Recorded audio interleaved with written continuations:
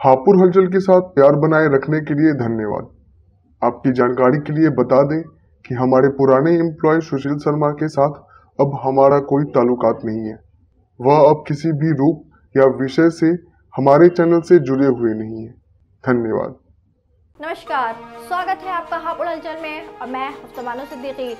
UP में महिलाओं व बच्चियों पर अपराध रुकने का नाम ही नहीं ले रहा। आज जनपद हापुड़ के थाना देहात क्षेत्र में एक छह साल की मासूम बच्ची के साथ रेप का मामला सामने आया, जहाँ पड़ोस के ही रहने वाले एक नाबालिग ने छह वर्षीय मासूम के साथ रेप की वारदात को अंजाम दे डाला और मौके से फरार हो गया। जानकारी के अनुसार पड़ोसी छह वर्षीय मासूम को अकेला पाकर उसको बहला फुसलाकर अपने घर ले गया। और उसके बाद टॉयलेट में ले जाकर बच्ची के साथ दुष्कर्म की वारदात को अंजाम दिया और फिर मौके से फरार हो गया।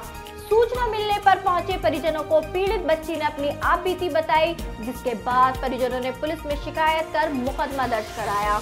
तो वहीं पुलिस का कहना है कि पीड़ित के परिजनों की तहरीर के आधार पर मुकदमा दर्ज कर लिया गया है और अब बच्ची को मेडिकल परीक्षण के लिए भेजा जा रहा है।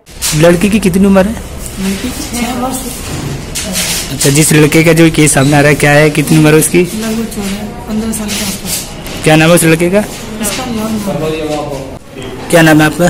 जी सर ये आपकी लड़की के साथ जो दुष्कर्म हुआ है, क्या है पूरा मामला? क्या जाना?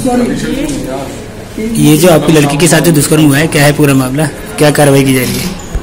कार्रवाई तो उसकी तहरीर होनी चाहिए, जिससे कि ऐसा वो घर तो घर पूरा गाँव में ऐसा केस नहीं होना चाहिए। आपको कैसे पता चला कि ये सब हुआ?